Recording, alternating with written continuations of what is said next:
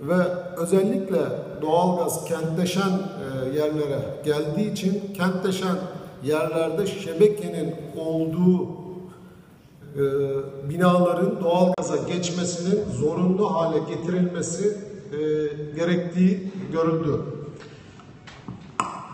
Bu yeni yayınlanan çevre raporuna baktığımızda Türkiye'de birçok ilde yaşanabilir hava şartlarının olmadığı görüldü. E, burada e, özellikle Afyon e, Belediyesi, Afyonkarahisar Belediyesi e, bu konuda bir zorunluluk getirdi e, valiliği ve çevre kurulu. Bunun Türkiye'nin diğer yerlerinde de yaygınlaşması gerektiği kanısındayız. Yaptığımız yatırımların optimizasyonu açısından ve bundan sonra kaynak sıkıntısının öncelikle buralardan çözülmesi açısından bu önemli. İkincisi tabii ki akıllı sistemlerin e, sürekli e, kullanılır e, durumda olması e, gerekiyor. Yalnız akıllı sistemler e, bizim klasik e, malzemelerimiz gibi ömürleri yok. Yani bir e, boru e, hattı e, ömrü 25 ile 50 yıl arasında e, değişen şartları varken e, akıllı sistemlerdeki ömürler e, çok kısa süreli. E, teknolojik gelişmelere bağlı olarak, hıza bağlı olarak sürekli yenilemeniz ve geliştirmenizi gerektiriyor. E, hız ve e, hizmetteki hızın kalitesini de en önemli e, değeri de burada. Bu nedenle e, akıllı sistemler kullanımı ve seçimi konusu önümüzde e, ve e, buna e, kaynak bulma konusunu da e, yakın zamanda çözmemiz gerekiyor. Demin e, Sayın Genel Müdürüm de söylediği e, insan kaynakları e, cidden çok önemli. E, İGDAŞ bir okul, e, İGDAŞ e, bu konuda çok şeyler yaptı. E, hatta bu e, İngaz'ın e, 2005 yılında e, Bilal Bey e, cidden e, bu konuda çok emek verdi. Kendisine e, tekrar teşekkür ediyorum. E, bunu altıncı kezi ve uluslararasına dönüştürüldü. E, bu sempozyum ağırlıklı olarak dağıtım sektörünün işletmeciliği üzerine e, Bilal Bey sempozyumda bunu geliştirip artık sektörün tüm segmentlerini kapsayacak bir düzeye getirme e, açısından da e, önümüzdeki dönemde çalışmalar yapacağız. İnsan kaynakları e, cidden önemli. E, Türkiye'nin birçok yerine e, insan e, yetiştirmemiz gerekiyor. Bu konuda da projeler geliştirmemiz gerekiyor. Ben aslında İstanbul Büyükşehir Belediye Başkanımız bugün burada olacak diye konuşmama e, belediyelerle ilgili bir takım e, şeyler almıştım. E, ama Sayın Genel Sekreterim burada e, belediyeler birliğinde özellikle bu konuların gündeme getirmesi açısından e, birkaç konuyu e, dile getireceğim. Belediyeler üst yapı konusunda e, şebeke yapımında destek vermek zorundalar. E, belediyelere e, biliyorsunuz yasa kapsamında yüzde on bedelsiz hisse e, verildi. Fakat gelişen süreç Türkiye'de e, özellikle son büyükşehir belediyeleriyle birlikte e, cidden üst yapı konusunda e, büyük maliyetlere e, ve e, şebeke yapımında sıkıntılara e, dönüştü. Asfalt tahrip bedelleri uygulamasında e, ki maliyetlerin belediye maliyetinin dışında olmaması bizim için çok önemli. Çünkü biz bu bedeli eninde sonunda e, tarife yoluyla tüketiciden alıyoruz. Yatırımların miktarının düşmesine neden oluyor. Belediyelerin e, kesinlikle asfalt maliyetlerinin dışında bir bedele e, yönelmemesini sağlamamız gerekiyor. Belediyelerin numarataj konusunda sık sık değişiklik yapmasının bir an önce önlenmesi gerekiyor. Bu numaratajlar nedeniyle adrese dayalı sistemler e, büyük sıkıntı yaşamaktadır. Kırmızı kodların değişmesi nedeniyle de birçok şebekenin e, tekrardan yeniden yapılması, sökülmesi gündeme gelmektedir. Bu nedenle kırmızı kodların e, imar mevzuatına uygun olarak e, değiştirilmemesine dikkat edilmesi gerekmektedir.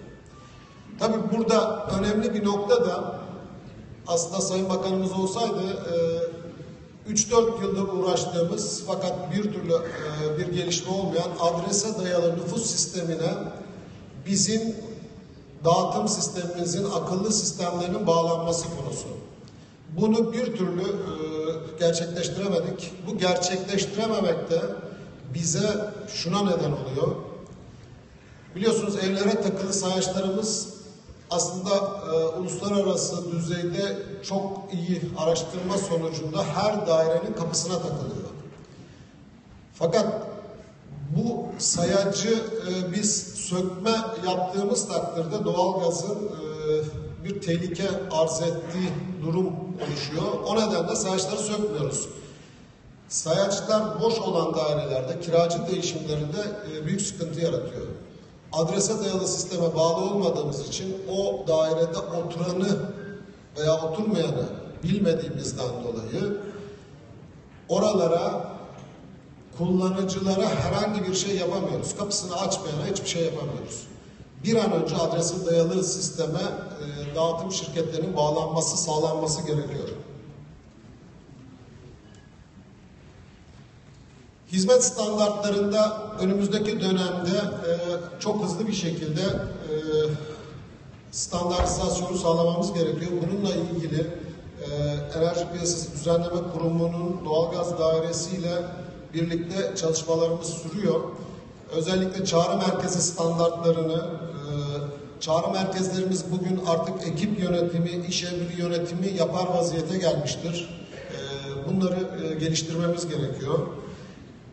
Doğalgaz ekiplerinin belirli sürelerde o acil ihbarlarda birinci öncelikli acil ve ikinci öncelikli acil ihbarlarda belirli sürelerde bulunmasını şehirlerin e, konumu ve durumuna göre de değerlendirmemiz gerekiyor. Özellikle iç tesisatta e, dostlar e, başkan vekilimiz e, bazı şeyler bahsetti ama iç tesisat mevzuatında aslında e, ticari taraftakiler çok rahatlar. E, dağıtım şirketleri ise e, birçok gereksiz kanunda olmayan sorumluluklara e, yüklenme gibi bir durumdalar. Bundan bir an önce kurtulması gerekiyor Türkiye'nin. Daire içindeki tesisattaki sorumluluk bu işi yapan sertifikalı firma, sertifikalı mühendislerin yükümlülüğünde yürümeli. O evde bir şey yapıyorsa standart bir sözleşmeyle vatandaşla sözleşme imzalamalı ve o işin sorumluluğunu almalıdır. Öbür türlü biz defalarca gidiyoruz. Hatta cihazların devreye alınması için ayrıca bir daha gitmemiz gerekiyor. Ve gereksiz insanları uğraştırıyoruz. Ve gereksiz e, yere de yanlış iş yapanlara sorumluluk vermiyoruz. Bir an önce iç tesisatta bu firma ve mühendislere e, bizim gerekli şeyleri yapmamız gerekiyor. Avrupa'da olduğu gibi dağıtım şirketleri kolon hattı dışında sayaçtan sonraki kısımda kesinlikle işlem yapmamalıdır. El sürmemelidir. Sosyal projeler konusunda e, dağıtım şirketlerimiz çalışmalıdır. E, geçtiğimiz ay e, 25 şehirde başlatılan e, duyma ve e, konuşma engelli vatandaşlarımız öncelikli olmak üzere bu tür vatandaşlarımızın çağrı merkezini aradığında e, dertlerini e, anlamamız mümkün değil ve kapatılıyor. Bu vatandaşlarımızı sistemimizde tanımlayıp bunlara doğrudan gidecek şekilde tüm doğalgaz sektörünün en kısa sürede e, bu seviyeye gelmesi gerekiyor. Verimlilik konusunda dağıtım şirketlerimiz çalışması gerekiyor ki bugüne kadar çok iyi çalıştılar. Ee, bunun da göstergesi konut başına tüketim sürekli her yıl düşmektedir. Ee, bu düşmeye devam etmemiz gerekiyor. Bu bizim için, e, Türkiye için çok önemli bir konu. Değerli katılımcılar, e, bu bölümde kısa bir video ile dünyada ve Türkiye'de yaşanan birkaç doğalgaz kazasını e, size göstereceğim ve Türkiye'de önümüzdeki dönemde aşırı dikkat göstermemiz gereken teknik emniyeti kısaca anlatacağım. Şimdi videoda gördüğünüz kısa bir video. E, Tayvan'da e, bir caddede başlayan e, doğalgaz sızıntısından bir yangınla başlıyor. Ve bu cadde boyunca devam eden patlamalar.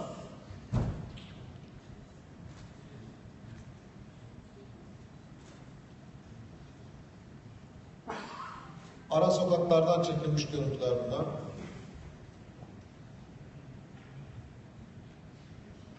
Ve caddenin son durumu. Şimdi baktığımızda e, bu çok önemli bir kaza. Bunları yaşamamak gerekiyor ama bunu da yaşadık. Şimdi Antep'te yaşanmış bir fotoğrafını da e, göreceğiz. Organize sanayi bölgesinin içinde olanını göreceğiz. Gördüğünüz bu şebeke, doğalgaz şebekesi e, sızıntısı kanalizasyon sistemine geçiyor ve kanalizasyon sisteminin içinde e, büyük bir patlamayla cadde boyunca patlıyor.